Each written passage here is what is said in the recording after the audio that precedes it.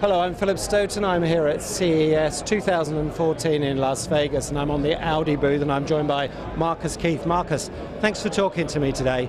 Some really fascinating stuff going on here in the automotive sector, and automotive really seems to be the star of CES this year. Why do you think? Why do you think that is? Is it because there's so much going on? What, why is automotive electronics really at the forefront? Okay, you know, I, I I'm thinking. Um, the, um, the importance, what we see right now is the consumer electronics brings a lot of customer value and the life cycle of a car is about seven years. We want to we want to merge both of both worlds together. You know, the best of both worlds: the consumer electronics, but also customer experience, mm-hmm. and the nice riding. And then we get a lot of consuming and a lot of computing power into our cars. We need that for further development, and therefore it's very important that we now narrow together and really bring up uh, automotive parts where we can use also in our cars. And therefore, I think it's really the yeah. hit this year. Yeah, it's really become the star. And and your um, your chairman was uh, keynoting, packed audience, fascinating presentation, talking about all kinds of stuff that change the driver experience. What kind of what kind of technology advances are you bringing this year in particular? Oh, especially for us, it's very important to, to get into the next step with the piloted driving. Mm-hmm. Last year we showed on the consumer electronics, uh, the trunk was filled up with electronics, but the car was driving piloted. Yeah, we call it piloted, not autonomous, because still the customer has, uh, the driver has still the the ability to, to get to the steering wheel and drive by himself. And, and this year, really, what you see behind you actually is a little module this module is powered by an NVIDIA chip with a high computing power, and again, therefore it's very important to come bring both worlds yeah. together. And now we are close to series production. Okay, and how far away do you think driverless or piloted, whatever you want to call it, vehicles are now? I think it's uh, uh, it's depend on the state really.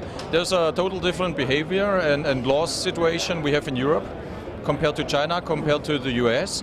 In the US, actually, we have the benefit that we are allowed already to get driving, and I really think that within the next two to four years, we can get the first cars on the road. Okay, and when, when you talk about bringing those consumer things and um, the automotive area together, very, very different supply chains, different research and development cycles. You know, this car's been in development for years and years and years. Electronics is changing every six months different reliability requirements. How do you bring those challenges together? How do you make that work? Um, we had to break up the uh, supply chain in total. I mean, bringing our behavior, our life cycles uh, into the consumer electronics life cycles. That happened very perfectly, for example, with NVIDIA and also with Google. That's what we see this mm. year in the car. And therefore, we, we came up and speeded that up. The consumer electronics industry had to learn about the automotive. Very cold temperature, mm. high temperature, shaking all the time, mm. and that's what we right now trying to bring both worlds together. Yeah, and of course the stuff that you're providing is absolutely mission critical. If my cell phone doesn't work for half an hour, it's not a problem. If my driverless doesn't, I'm in trouble, I guess. That's right. So different challenges there. And you mentioned Google, you mentioned NVIDIA. You, you're starting to partner with other companies, other electronic companies. Why, why is that? Is that because there's a sense that to really meet these demands, you have to get, get together with other companies? You know, the, uh, the customer experience really comes up with computing power because then we are able to bring very complex uh, technology into our car. Mm. And with high-tech companies like NVIDIA, we are able to bring also that chips into our cars with that computing power. With the, the friends from, from Google, we're able to bring nice applications in our cars and also the, the consumer electronics world, the customer ex experience every day on his Android phone. Yeah. And, and with the Google thing, it's all about connectivity, it's all about that kind of smart car, but for that to operate, it's got to work in a smart environment. And we see it perhaps at other events, all kinds of talk about smart cities.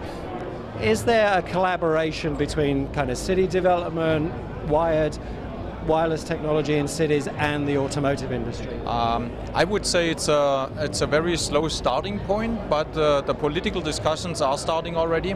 We have one demonstration with us this year. It's called the Traffic Light Online uh, Demand, where you can see in your instrument cluster already the traffic lights targeting down in seconds 25, okay. 24, 23 what I said to the customer, I'm totally relaxed mm. until I see it's going down to 8, 7, 6 and so on. Yeah. We combine that with our start-stop system. That means the engine switches back on in 3 seconds before the light goes on green yeah. and we are ready to take off.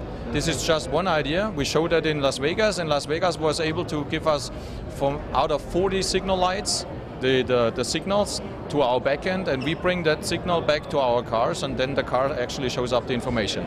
Okay, so it becomes a smart environment as well as the car itself. Last thing I just wanted to touch on, we're stood by a car here, and you're talking about laser lighting. Sounds like a really interesting technology. Sounds like something that's that's really a game changer. Is it unique to Audi?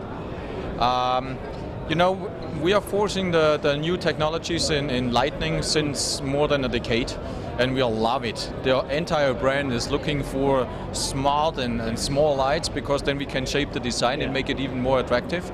We started uh, with the LED lights, then we brought up, especially last year, with our flagship, the A8, the Matrix high beam light, where especially you always drive on high beam, and if somebody is coming against you, we are just switching off that particular segment of the of the of the light, and then you have a brightness and safety because you farther see. And with the laser, it even goes two and a half times that far than the regular high beam, and that makes basically night to the day. Yeah. And Marcus, it must be really satisfying to see the booth as packed as it's been all day. I've hardly been able to get on here. Has that surprised you? No. No? No, no. We, we, we came in here the, the first time four years ago. Uh, the booth was crowded. Yeah. Now even it's crowded again. It happens to us every year. Seems like the customer really love us, and Yeah. uh, we love them. Yeah. So more space next time, fit more people on, show them more vehicles, I guess. Yeah, and it looks like the booth needs to be bigger. Yeah, absolutely. Marcus, thanks so much for your time. It's been a pleasure to talk to you and enjoy the rest of the show. Thank you. Thank you.